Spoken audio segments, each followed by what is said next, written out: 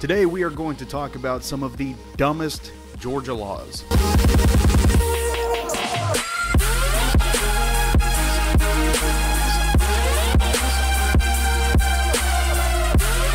Hey guys, what's going on? I hope everybody's having a fantastic start of your weekend. Uh, I guess it'll probably be Saturday before I get this video out. Um, but today we are going to talk about some of the dumbest Georgia laws that are, uh, some are still in effect, some are no longer in effect, and we'll go over some of those. First of all, obviously, I'd like to welcome Staten for coming back once again. How are you, sir?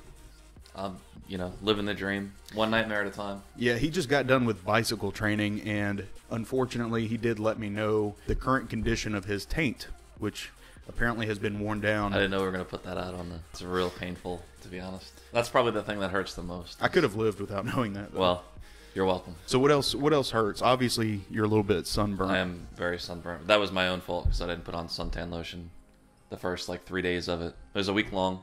We rode like 40 miles, I think total. Rode over every bridge in the city. Rode at night a lot, in the rain a lot. My thighs hurt and my uh, cabbage patch hurts. He's he's like Fifty Shades of White. So this little Yeah. bit of tan that's on here. I don't know if you'll be able to see it in the video. that's just pain. Yeah, it hurts a lot. I put aloe on before I left the house. All right, so let's talk about eight of the strangest Georgia laws. These are actually currently um, in effect right now. So the first strangest law is Code Section 3-3-33. Um, and this basically says that devices that will vaporize alcohol for you are considered illegal. They're prohibited in Georgia. So like in a vape pen, can't have like a vape pen that has alcohol in it. That's a good question, but I think what they're talking about is like, have you ever heard of vaping alcohol?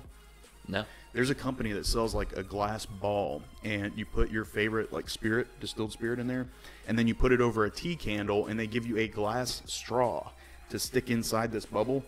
And as it heats up, the alcohol is the first to evaporate before the water, and you suck it in, and it's like an So instant it's like drunk. pure alcohol you're, Yeah, you're getting because the, straight the to your alcohol is brain. what vaporizes. Which I can't imagine that'd be very good anyway. Well, I mean, I guess if you're just trying to get shitty. Yeah, but that like imagine one shot that's not being filtered by your liver. Yeah, well, that's that's true. Yeah, and it doesn't go through your liver. Yeah, like straight to your brain. That- so you can't do that in Georgia. Yeah, can't do that in Georgia. That's illegal. No vaping alcohol. Next code section is 3 3 41, and it basically says no love in a club. So you can't you can't have sex in a club in Georgia. Specifically a club, Yes. but I could do it like in a 7-Eleven. I don't know why you would want to do it in a 7-Eleven. Well, I'm saying like I'm sure you wouldn't be the first person that did it in a 7 Eleven. Apparently, there was an issue if they had to make a specific code for making love in a club, or maybe it was Too many people having sex with strippers, I would imagine. I'm in love with a stripper, that kind of thing. So the, the actual code section says performance of actual or simulated sexual acts, use of artificial devices or inanimate objects, display of visual images of sexual acts. So you can't even watch porn at the club on a screen. It's very specific. That's like oddly specific. It, that is very yeah. So Like some lawmaker had a personal experience with this, and he was like, "We need to write a law this." what if he was like at a strip club and then they just started showing some porn and he's like, I didn't come to watch a porn. yeah, I came to watch actual. This is Strippers. absurd that I should have to watch porn at a strip club.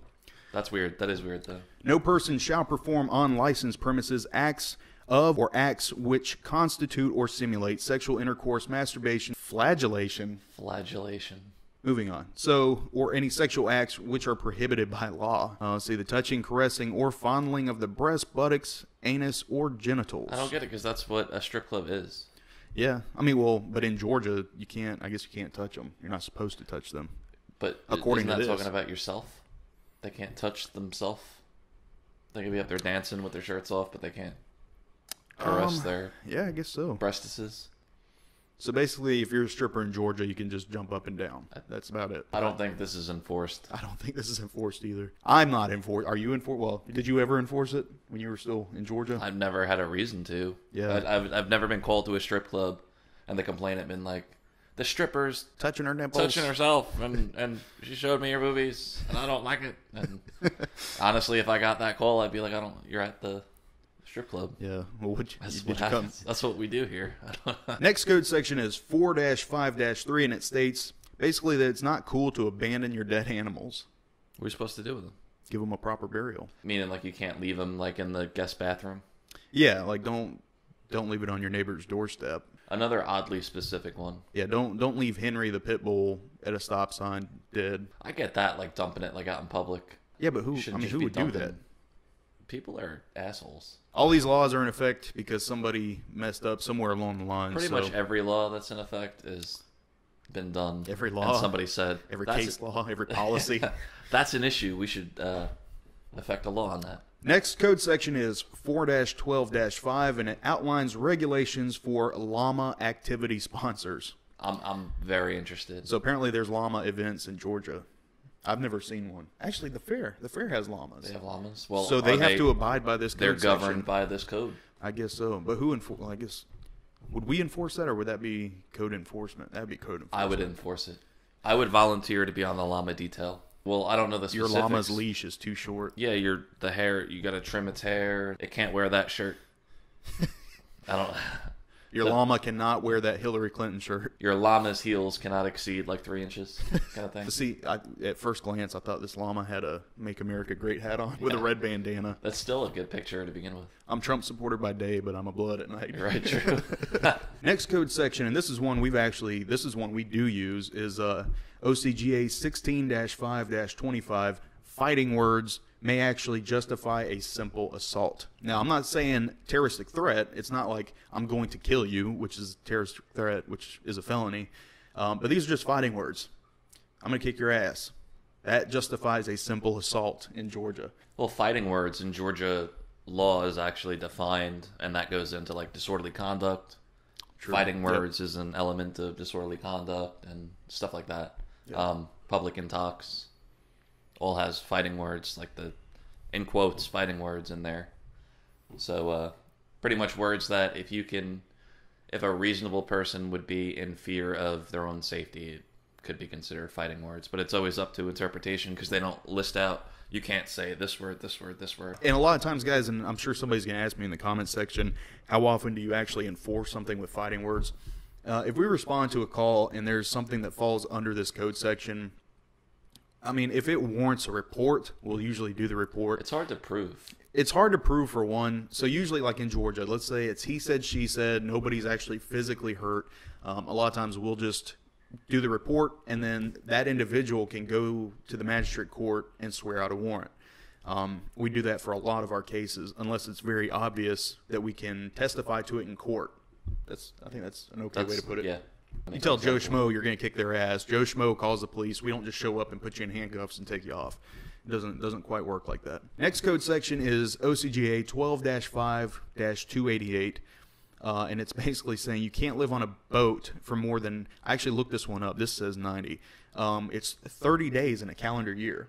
You're not allowed to live on a boat in Georgia waters. So if you travel from Florida and you're going up the coast and you just dock somewhere in Georgia, you can't stay there for more than 30 days. Is that like a safety thing? What's the purpose of that? I don't know Another how it thing would be that a safety thing. something just bothered a lawmaker and he made a law about it. Last code section, OCGA 26-2-249. Milk, butter, ice cream, and any other dairy products may not be handled in an unsanitary manner. So you cannot have an ice cream cone in your back pocket. That's illegal. That's another one that's too specific. That's very, yeah. It should be like any food can't be handled in an unsanitary manner. But this guy said ice cream, milk, and butter. So don't put butter in your pockets because it's not sanitary and it's illegal. Or milk. Don't pour milk. milk. in your pocket. I would enforce that law just to say that I, like, if somebody was like pissing me off and bothering me, and they had a stick of butter, picked up the butter with their dir- dirty hands or Yeah, something, like, yeah. that's unsanitary handling of butter. and this is just saying handled in an unsanitary manner. It's not saying. It's not saying you outside. Keep using the pocket Yeah, that's, example, that's because that keeps coming to mind. but But like, don't leave butter out on your counter for more than a couple days. define unsanitary. Picking it up with my hand is technically unsanitary. So you break So the I law got- when you make dinner. I gotta put on a hazmat suit when I when I fucking get a glass of milk with my ice cream or whatever. I'm not trying to go to jail, and I'm definitely not trying to go to jail for something like that. Hey man, what are you, what are you in for? Oh man, I picked up a stick of butter with my dirty hands and told the cop to fuck off, so he took me to jail for fighting words and Dirty butter. dirty butter, unsanitary handling of butter. All right, guys, that is it. Uh, the last thing on here, I've got a, a list that I'll kind of run through. Um, these are not verified. I don't have code sections for these, but Um, they either are in effect and I just don't have them, or they were in effect before, but either way, they were found through LexisNexis, which is a very reputable site. So, the first one is the floor of a porn store must be smooth and absorbent. Absorbent is very That's- that is very specific. Specific and counterproductive. So if like The fluid's hitting the ground on a porn store. You want to be able to just clean the floor. Yeah, you don't but want if it the to be floor absorbent. is absorbent all the so if like Squirty Sally walks in, we need the floor to be absorbent for Sally. or Seaman Steve. I was, I was trying to think of a guy name that started with an S. You're welcome. I couldn't. Squirty Sally. Next one is it is illegal for a chicken to cross a road. So the old Okay. saying, why did the chicken cross the road? Because they're a lawbreaker. Because- and they need to go to jail. because fuck the police. That's why. That's exactly why. Next one is it is illegal to use profanity in the presence of a corpse in a funeral home. Well, you don't want to offend the dead guy in a funeral home. So it could be like out on the street if I find. Well, one, this I, I- this just I- says a corpse, but the one I read before said in a funeral home. But I'm saying if I find a dead guy in the street, I can curse at him as long as it's not in the funeral home. Yeah. Next one on the list: donkeys may not be kept in bathtubs. I agree with that one. I do agree with that one. Why are these all so weirdly specific? I don't know. I guess it's safe to say he was being a jackass. I was gonna say he had a dirty ass. Ah, damn, that one's better. That one's better. Bathtub. That one's better. Yeah. Next one down: it is illegal to tie a giraffe to a telephone pole or street lamp. I can't Tall. see. I it's can't. tall, so it's gonna hit the wires. That's not that damn tall, is it? Giraffe? A gir- Maybe a big one. I don't know. What's the height on a giraffe? I don't know. They're pretty big. I We think. can. We, I guess we could Google it, but somebody will let us know in the comments. Um, four one, uh, a giraffe is an approximately thirty feet tall animal. Sometimes they can reach thirty-two feet. You make fun of the guy, but at least he knows. True, he does. He knows something we don't. So. yeah. Who's the real loser here? These guys. I'm gonna zoom in for that shot. Two more. It is illegal to change the clothes on a storefront mannequin unless the shades are down. That's ridiculous. That is somebody walking down the street that I'm sure was a good Christian got offended because um, That bothers me. a mannequin and his little plastic bump was Yeah, flashing up in the window. They don't even have dinglings. They don't even got the goods. They just got like little humps. Yeah, but I have seen mannequins with, With- camel toes. I mean, unless it was just built that way and they didn't mean for it to look like that. But I, I know a camel toe when I see them. You never saw the actual camel toe because the shades were down when they were pulling it out. Uh, they, they were breaking the law. They should go to jail. I'll enforce that one again. Last one on here. It is illegal to have a picnic in a graveyard. So I'm sorry for all you emo kids out there.